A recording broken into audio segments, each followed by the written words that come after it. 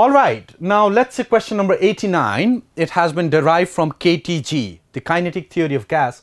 Straightforward question. Mass of one molecule has been given. So many hydrogen molecules strikes per second a fixed wall of area this much at an angle of 45 degree and the speed of impact is also in there. We need to calculate the pressure on the wall. Well, the pressure would be force per unit area.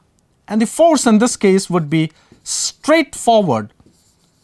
2 mn v cos theta m mass of one molecule small n the number of molecules striking per unit time v being the speed cos theta where theta is 45 degree.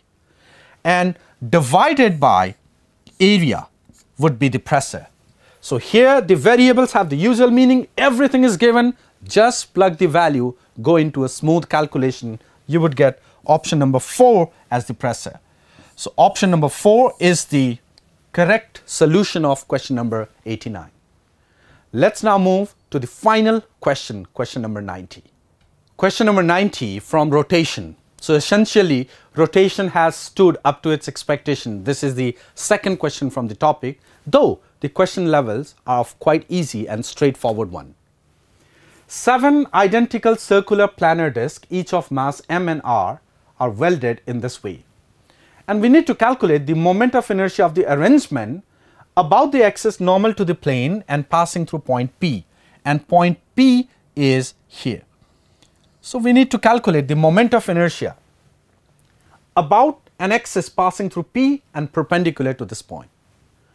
Well, what I will do is that first of all, to make it in a simpler way, I'll calculate moment of inertia of the entire system about O.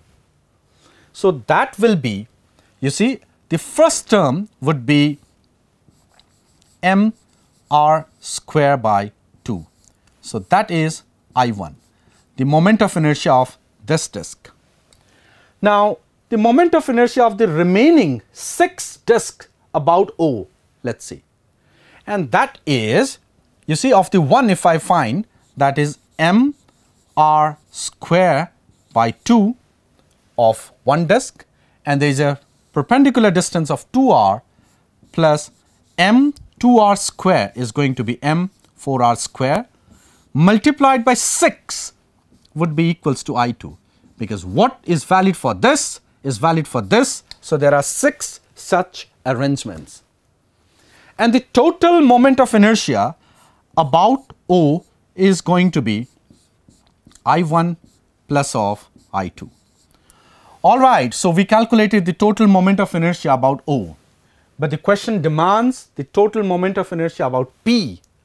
So, we will shift by parallel axis, but not forgetting the total mass is 7m. So, here what we will do is say the total moment of inertia about P is going to be IO plus 7m into distance. Of course, all those 7 things have the center of mass here and the perpendicular distance is 3r. So, that will be 3r square. So, you put the value, go for the simple calculation and you would get option number 3 as the correct one. So, question number 90 has option number 3 as the correct solution.